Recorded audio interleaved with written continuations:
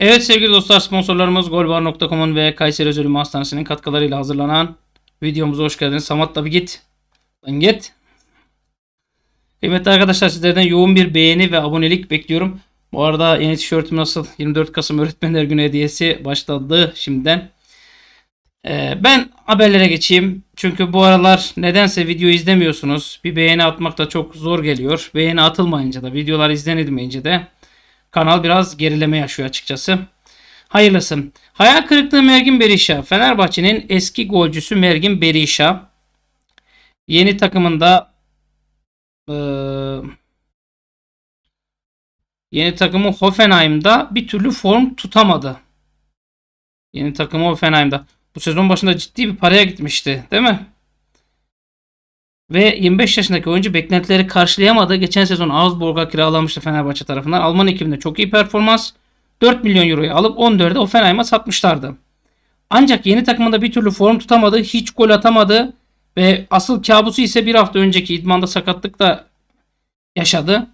Detaylı kontrollerin ardından Berisha'nın dizindeki çapraz bağların koptuğu tespit edildi. Alman oyuncu sezonu kapatmış olabilir diyor.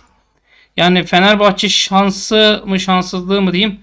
Ama Berisha'nın şöyle bir olayı var. Berisha çift forvetin oyuncusu. Tek forvetin değil. Ve çok çok da geçmiş olsun di diyelim. Burada karlı çıkan Augsburg oldu arkadaşlar. Açıkçası ciddi bir kar elde etmiş oldu. Christoph Daum Ali Koç'a dua ediyorum diyor. Şimdi Fenerbahçe, Beşiktaş gibi takımları çalıştırdı ülkemizde. Bursa Spor'u çalıştırdı. Ve Christoph Daum çok konuşulacak açıklamalarda bulunmuş. Sergen Yalçın'dan falan bahsetmiş. Ali Koç'tan bahsetmiş. Yani ben kısaca şöyle söyleyeyim arkadaşlar. E, akciğer kanseriyle mücadele ediyor 74 yaşında. Maç Kolik sitesine bir röportaj vermiş. Diyor ki Ali Koç benim en iyi arkadaşlarımdan biri ve onun Fenerbahçe için neler yaptığını biliyorum. Sık sık eleştiriye maruz kaldı ama o Fenerbahçe ile devam etti. Bence pek çok başkan istifa ederdi. O Fenerbahçe'yi önemsiyor ve onun şampiyon olması için Allah'a dua ediyorum demiş. Bizler de çok dua ediyoruz. Sergen Beşiktaş'ta o dönem çalıştım. O dönem Juventus'ta Roberto Baggio dünyanın en önemli oyuncularından biriydi ancak Sergen de aynı potansiyele sahipti.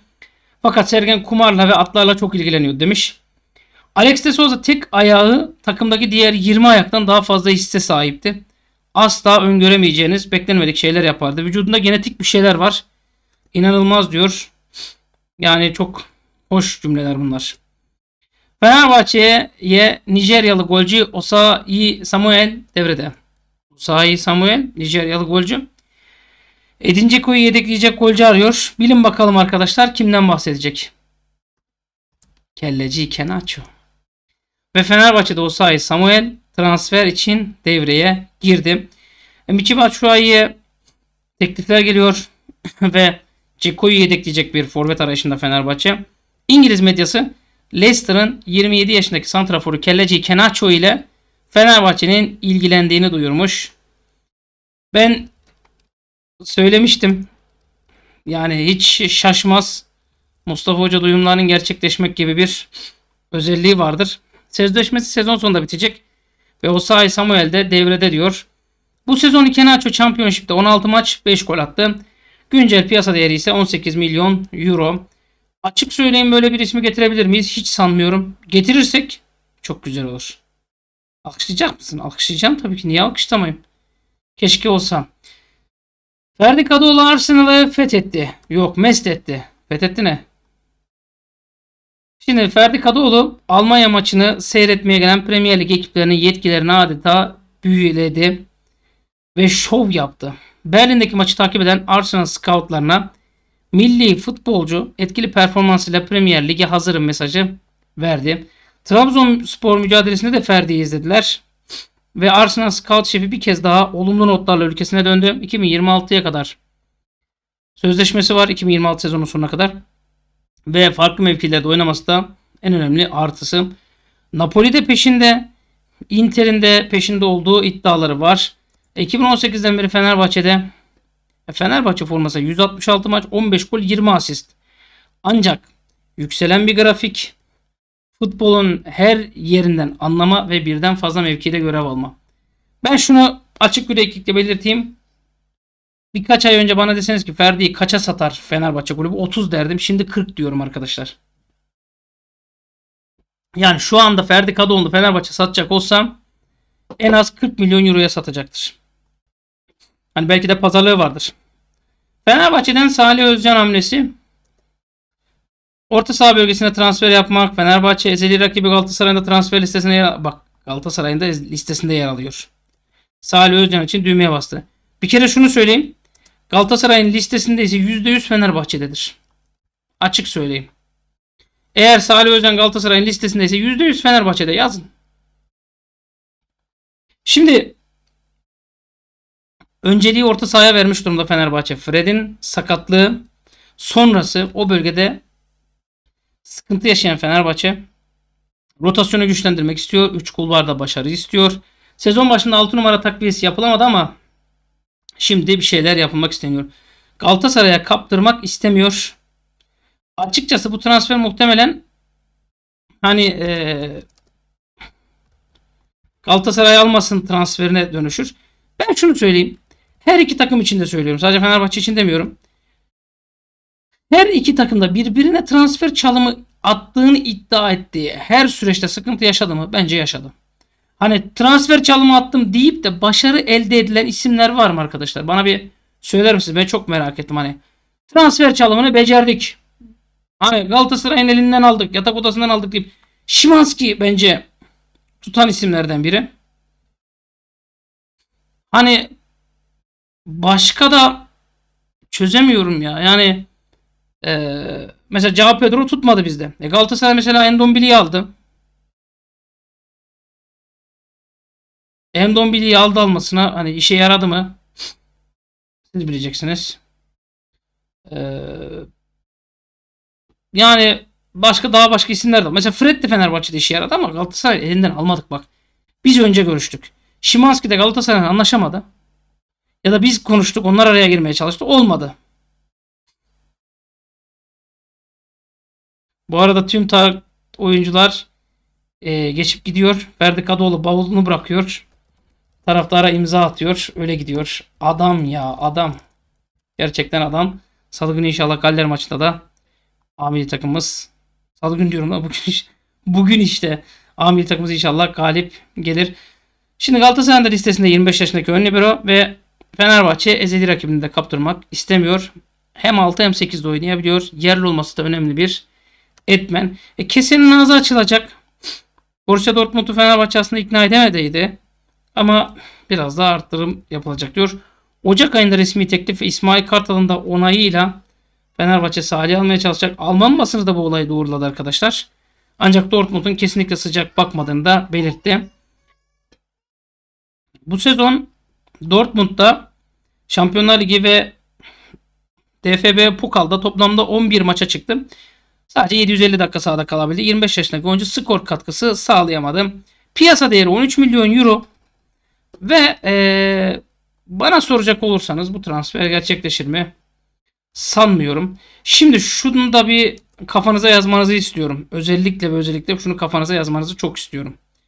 Transfer dediğin şey basit bir olay değil arkadaşlar. Yani transfer dediğin olay basit bir olay değil.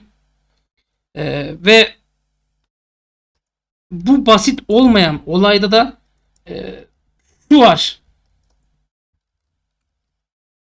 Ekonomik olarak seni zora sokmayacak bir. Yasal sınırlar çerçevesi içinde yapacaksın iki. Çünkü hani siz şey biz başka Galatasaray şu bu gibi değiliz. Ya bizim arkamızı gerçekten ve gerçekten hani bizim arkamızı e, kollayan aman bir hata yapsalar da üstüne çöreklenen diyen çok fazla takım var. Ve yaptığın transferini tutmaksı lazım. Tutmak zorunda. Eğer bunlar olmazsa çok ciddi eleştiriler alırsın. Şimdi Salih Özcan'ın 2026'ya kadar sözleşmesi var. Salih Özcan'ı kaça aldı bu arkadaşlar? 5 milyon euroya Köln'den aldılar. 1 Temmuz 2022'de. Ve transfer market değeri o zaman da 13 milyon euroydu. Ya burada Köln'ün bunlara verme sebebini söyleyeyim size. Diyorlar ki aman Bayern Münih olacağına siz olun diyorlar. Orada da böyle bir olay var. Ee, hani 5 milyon euroya bugün bıraksalar alınır mı? Bugün 5 milyon euroya bıraksalar çok güzel alınır. Ama zor yani ya. Yani bazı şeylerde Çok çok zor. Şimdi Napoli scoutları Alman maçında Ferdi'ye 10 üzerinden 7.3 puan vermişler. 18 milyon euro bonservis bedeliyle transfer edebileceklerini yazmışlar. Beklerler. Fenerbahçe Çağlar Söyüncü için resmi girişimlere başlayacak haberleri var. Nereden duydular acaba? Allah Allah. Garip. İrfan Can Kahveci'yi seviye 15 milyon euroya almak için gün sayıyormuş. Ah keşke. Vallahi ah keşke öyle bir şey yapsalar 15 milyon euroya. O zamanki döviz kuru da çok çok düşüktü. Ee, Şimdi de çok büyük kar olmuş olur. Napoli ve Manchester United Şimanski için kesenin ağzını bir hayli açtı. İki takım da 15 milyon euroyu ödemeye hazır demiş. Biz 9'a aldığımız futbolcuyu asla 15'e satmayız. Ben size söyleyeyim açıkçası rahat olun. Yani 30 milyon euroya getirmiyor. Masaya bile oturmaz. Abdullah Avcı'nın yetki verdiği scoutlar Fenerbahçeli Şimanski gibi kadife bilek bir oyuncu bulabilmek için Polonya, Hollanda, Almanya ve Danimarka'da oyuncu avına çıkmışlar. Falan filan Inter, Milan. Yani biz bu videodan ne anlayacağız arkadaşlar? Öncelikle kanala abone olmamızı gerektiğini anlayacağız. Sonrasında 24 Kasım yaklaşıyor. Mustafa hocanıza da bir öğretmenler günü hediyesi olarak en azından kanala bir abone getirseniz o bile hediye kabul edilir. Maddi hiçbir karşılığı yok. Manevi bir hediye olarak beni çok mutlu edersiniz. Ee, onun dışında da canınızın sağlığı arkadaşlar. Kendinize çok çok dikkat edin. Hani ligler başladığı zaman biraz daha hareketlenecek gibi duruyor burası. Ama ligler başlayana kadar sıkıntı. Uzun lafın kısası Fenerbahçe Galatasaray arasında ikinci Şimanski vakası. Fenerbahçe'ye hayırlı olsun diyorum. Çünkü eğer Galatasaray devredeyse Salih Özcan için Fenerbahçe'ye hayırlı olsun arkadaşlar. Bu 2 kere 2 4 gibi bir kural. Eğer bir futbolcu hem Fenerbahçe hem Galatasaray isterse oyuncu dombili mombili değilse Fenerbahçe kenara çekilmezse futbolcu Fenerbahçe'ye hayırlı olsun denilir. Burada da aynısını söylüyorum. Ama ben bekliyor muyum? Ben beklemiyorum. Çağlar Söyüncü'yü bekliyorum. Olabilir. Olmaz diye bir şey yok. Ikenacho'yu bekliyorum. Zaten söyleyen bendim. Sosyal medya buradan sonra aldı gitti. Şimanski devre arasında katiyen gitmeyecek. İrfan Can da gitmeyecek. Ee, sezon sonuna kadar bekleyecekler. Berisha'ya da geçmiş olsun dileklerimizi iletiyoruz. Onun dışında başka söyleyeceğimiz bir şey var mı? Batshuayi için de şunu söyleyeyim. Batshuayi'nin de yolu açık olsun. Şimdiden ona da yol açık olsun. Ferdi de devre arasında gitmez ama sezon sonunda. Ee, yani böyle bir durum var. Şunu söyleyeyim Ferdi ve Şimanski toplam 60'a gitseler kar mı zarar mı diye kafamda 50 tane tilki dolaşıyor. Açık söyleyeyim Türk futbol tarihinin rekoru kırılır eğer ikisi 60'a giderse. Mutlaka ve mutlaka rekor kırılmış olacak. Yani 30-30 bile gitseler en pahalı iki transfer olmuş olacak. Bence biz bunu kovalamalıyız. Tabii ki de öncelikle şampiyon olmalıyız. Ardından bunu kovalamalıyız. Olur mu? Her an her şey olabilir. Kendinize iyi bakın. Görüşmek üzere.